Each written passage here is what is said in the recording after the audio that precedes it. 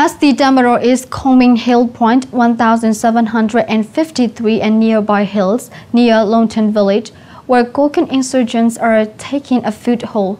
Tatmadaw occupied more hits after the fierce battles, including four airstrikes on Monday. Tatmadaw also occupied the hill point 2202 and other hills near Sikolian village south to Myanmar-China border post 119.